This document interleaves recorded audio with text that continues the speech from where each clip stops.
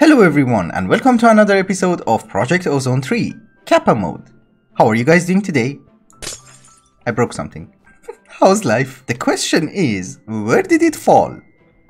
I only got one. Last episode we got the wand of animation and I thought we start today's episode by trying to get the transmutation table. Because in the comments of the previous episode you guys have been telling me that instead of making another energy condenser Mark 1 and upgrading it to Mark 2, I can just make this and teach it the recipe and duplicate it. And I like that. Thank you so much. It seems that we have everything we are going to need. That is dust. Okay, that's fine. Except the Insanium ingots. So I need to fight the Guardian of Gaia several times and then I'll be right back. Oh, we have only 18. That's not good. So I'm extremely confused. How many hearts do I have? Apparently a lot. Also, you guys have been telling me that the reason that mobs can one-shot me is because we have killed the Wither several times using our Draconic Evolution mob grinder which acts as a player kill. And therefore there is a mod which increases the damage dealt by other mobs based on the number of bosses we have killed. We have killed the Wither 150,000 times, so um, the damage should be through the roof.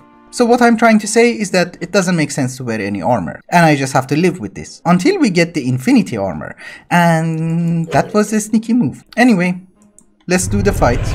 The good thing is, he cannot one-shot me, otherwise this game was unplayable. And here is the only part that I have to be very careful, so that nobody touches me. And he's dead. I have to do this like 20 more times. Oh, we got an achievement! Slay the Guardian of Gaia without wearing any armor.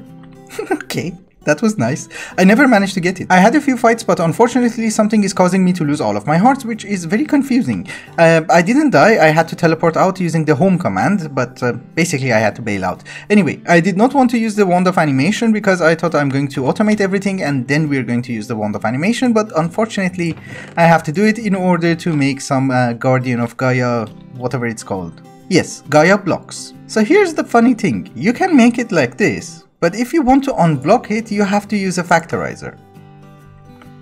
That's sick. The mob farm that we have over here is not providing us with essence because it is using mob grinding utilities and therefore it's just providing us with liquid experience. So we need to start converting that into essence. And for that we're going to need a fluid dictionary converter. We're going to provide this guy with liquid experience and we're going to ask him to provide us with essence. I really have to fill in this hole.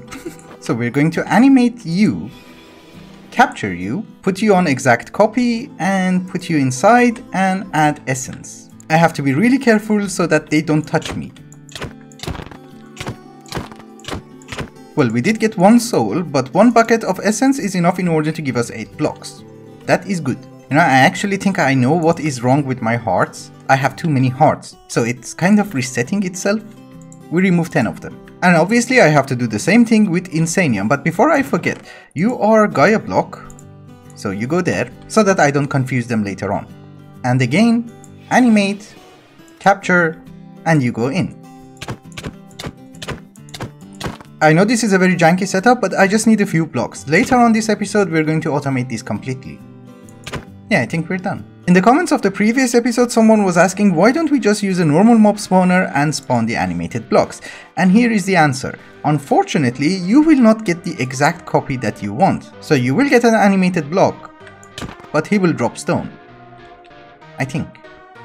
Yeah, so unfortunately this has to be done in a mob duplicator from Industrial Foregoing. Another question is that now that we have the wand of animation, why don't I just make the energy condenser mark 1 and then upgrade it? Cause this was the problem, and we don't have this problem, I'm just thinking. In any case, in order to upgrade it to Energy Condenser Mark II, we are going to need speed upgrades from extra utilities 2.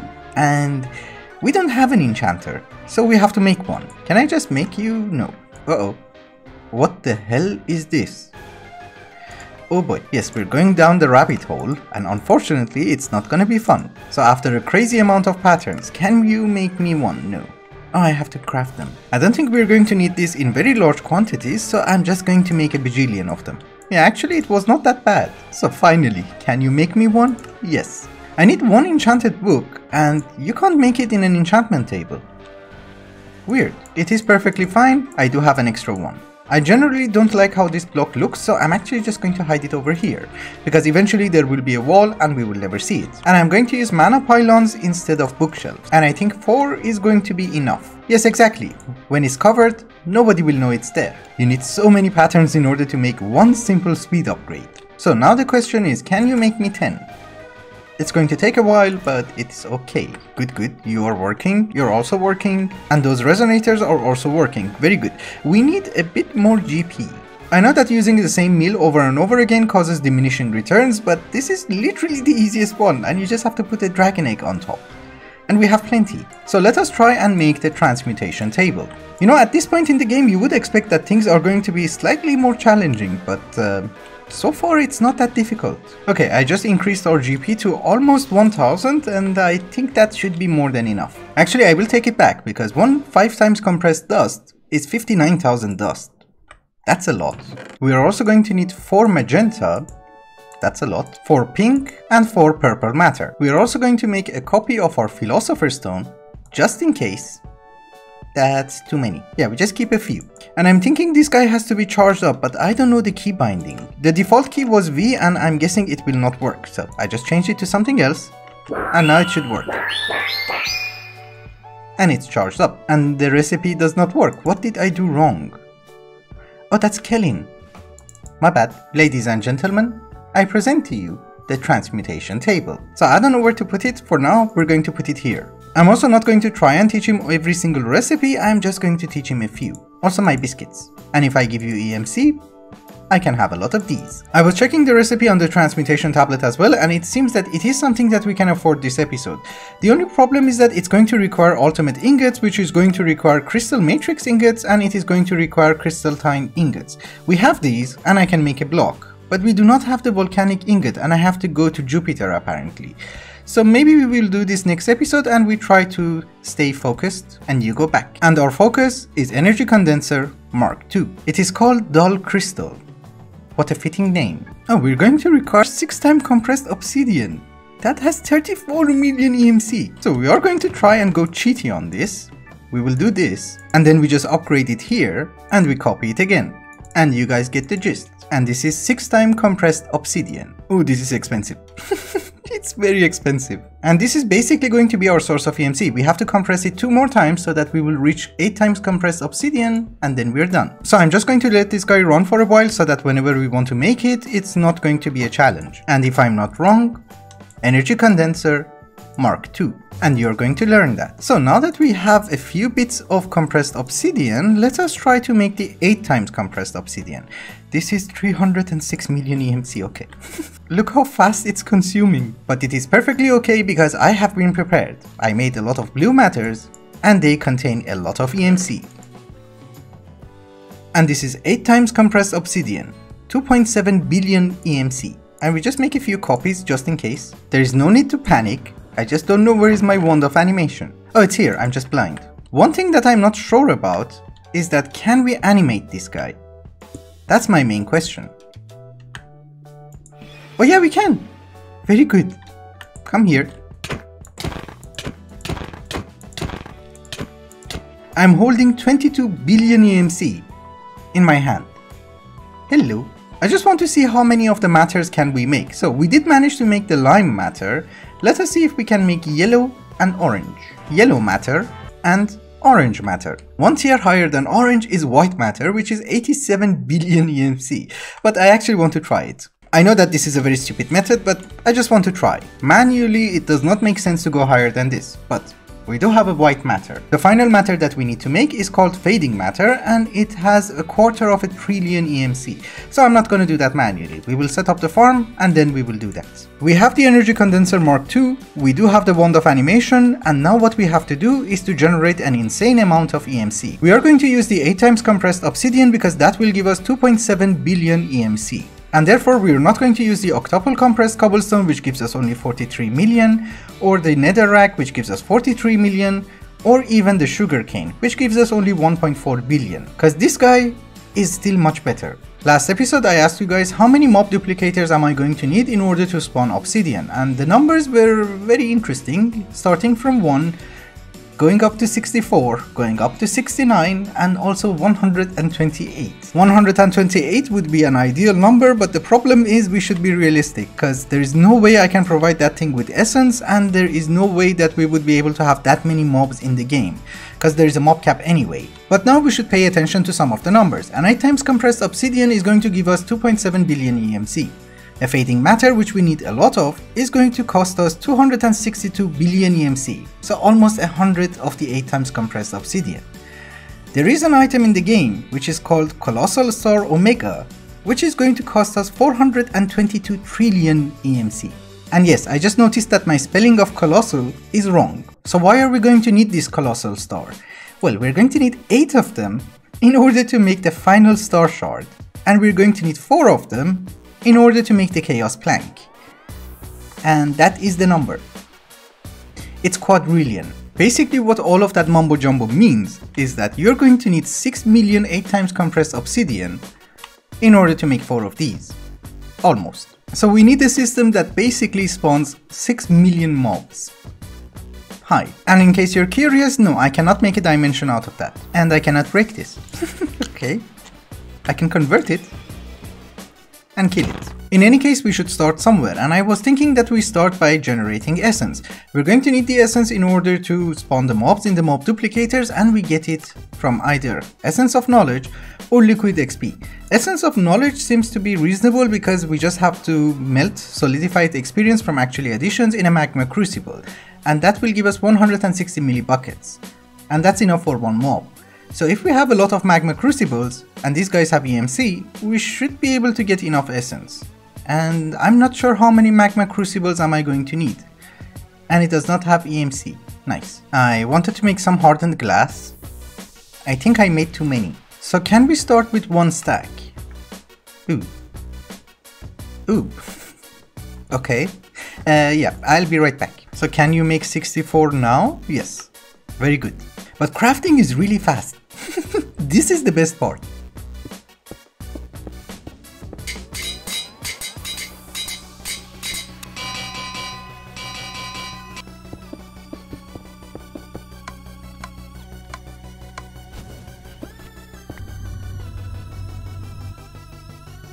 So as it turns out, you don't actually need 64 of these because they work super fast. they work crazy fast. I think you can get away with like 10 of them, but I made 64, so I'm using 64. Another problem that I faced is that you cannot use an ultimate logistical transporter and set it to extract, because it will just fill in one of these guys. They keep getting empty and, you know, you need to set it on round robin. So I'm using logistical sorters from Mekanism, which we tried to use uh, previously in our mob farm, and that didn't go so well, but we put it here and we set it to round robin. And then you just have to turn them on. You see? It works. This is nice. I'm not sure if four of these guys are going to be enough because they have a limit and I think it's one bucket per second, which is not so good. But just out of curiosity, I want to also use a dynamic tank from Mekanism because it looks cool, and also I want to see how much essence we are generating. And we just need to complete this structure, and we have essence. That's a lot. That's already like 1500 buckets. Okay. Because the ultimate mechanical pipes also have a huge inventory. So if I stand here, you should be able to see it? No. Yeah, you can see it here. Yeah, you see there is a limit of 100 millibuckets per tick. But we have 4 of them. That should be enough, right? Also, I am aware that this looks very weird, but I'm going to make a distillation tower out of it. Don't you worry. Oh, and by the way, this Redprint from thermal expansion is like your conduit probe, but it works with machines. I want to use our mystical agriculture area in order to spawn the mobs and I do not want to have any FPS problems. So this area should be nice and we also have this structure which should work fine. Uh, we do have mob mashers down there which have smite, which is not going to be a problem because animated blocks have very low health, so if they touch it, they'll be dead anyway.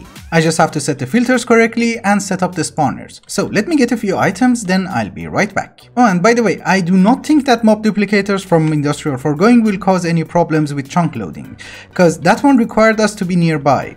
These ones don't, as long as the chunk is loaded. Don't crash, it didn't crash. We're fine. Oh, and also I'm going to start with 20 of them. Later on we might go up to 64, but I'm going to start with 20. We have essence, we have power, and I have prepared some stuff in order to do the filtering. We have 20 mob duplicators which are fully upgraded and they have a range add-on of 3, so that uh, they don't spawn outside we want them inside. I put all of them on exact copy and the reason that we are starting only with 20 is that I want to see how it goes so that if I want to improve on this, I will know what to improve. For instance, if mobs get stuck somewhere, we don't have to remove 64 of these, we just have to remove 20 and it's an easier job. So think of it as a trial version. And I did make filters for the item collectors so that I don't make the same mistake. So thank you for the tip that you gave me last time because it is going to be extremely useful. So I am blacklisting the trash can and then we will whitelist it on an ender chest. Actually not an ender chest on the crafters because I'm going to craft it down twice. The reason that I'm going to break this guy down twice into 6 times compressed obsidian is relatively easy. We're going to have a lot of energy condensers around our base and we have to fill it in and it will be a huge waste if we just put the 8 times compressed obsidian because most of the items that I'm going to duplicate don't have that much EMC value. For instance, if I want to make the emerald singularity, a block of emerald is 150,000 EMC, and the 6 times compressed obsidian is 34 million. So basically what I'm trying to say is that if we use this guy, we will not waste that much EMC just sitting in our energy condensers. And that's it. So now comes the fun part. I have to spawn the mobs, and they can one-shot me, and I need to capture them. That is the wrong one. No, no, no, no, no. Exact copy. Thank you. It's not going that bad. If they touch me, I'm dead.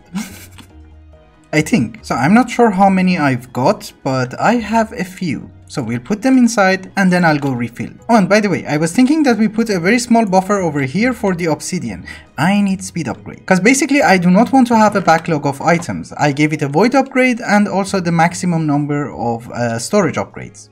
I need 10 more. And this is so nice, they're walking around the base. So I'm going to connect them to the energy crystal, but the energy crystal does not have any power, so that they don't get spawned and they don't kill me. We have 24 links, 20 is for the spawners and 4 of them is for the crafters. So if we connect them, this should work. Hopefully. Maybe. Holy. they are not dying instantly and that is not very good. Yeah, maybe I'm actually going to need sharpness. Maybe. And I also need more conduits over there because they are not keeping up. Actually, I'm not sure. Am I complaining too much? Because it seems to be keeping up. I will put sharpness, but it's keeping up. Okay, let's do something. We're going to let it run for a while. And then we'll go to the base, try to make some matters and see how it goes. The most expensive matter that we have is white matter. So let us try and duplicate this guy. Holy. yeah, I did not say it's going to be cheap. It's not cheap, but honestly, I already have four. 5. So I can make the fading matter. Haha, that's not a quest? Oh, it is. Cool. You learn this, just in case, and for the moment, you copy it. And you are no longer my best achievement, you are. It's not visible. So this has been running all this time and I do not see any problems.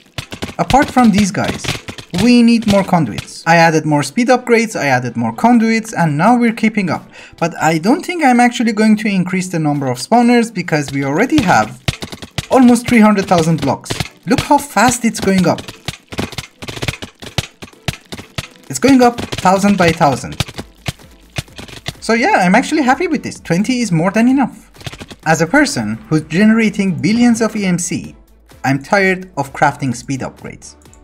I'm just saying. And I'm perfectly okay by trashing them all. I can see the trash in the middle. Uh-oh, that is not good. Okay, it's fine now. I added another trash can in the center, so we should be okay. And it's not connected to those, so don't you worry. Although our setup is incredibly rudimentary and stupid, we have 26 fading matter, and that's the speed that we can make it. And although I'm not even extracting at maximum speed, I could have used dislocators. Let's ignore that, it works fine, it's perfect. I will change that later on, and I have to kill that. Yeah, I could have easily used the translocator. I should do that. For some reason that I do not understand at all, translocators are not working with these guys, so we're going to use conduits. I am extremely confused, the translocators are working with the drawer and the ender chest, but they are not working with the crafters. So I'm just using conduits. It's keeping up, so it's not going to be a huge issue. But if we want to go crazy, we can do it here. Look, This is so nice. I thought if I add one more ender chest we will go at super crazy speed, but unfortunately this seems to be the maximum speed. It's not bad, we almost have one stack, and we just hit almost 17 trillion EMC very good. It seems that without changing the structure itself, we would be able to add 16 more spawners, and that is something that we will do next episode because the spawners themselves do not have EMC and I do not have the material to make them, and I have to collect those. So we will do that next episode. But then we will have 36 spawners in order to make EMC. And the good part is that we're keeping up with the essence production. Of course, we are also going to need additional spawners in order to make Insanium, Supremium, Infinity Blocks, Awakened Draconium, and basically anything which is a block and does not have an EMC. So we're going to need a lot of mob duplicators. And in case you're wondering, we have almost 200 of these, which is very good. Anyway guys, I think it's also a good time to wrap up the episode. Thank you so much for watching, and I hope you enjoyed it. Till the next one, bye bye.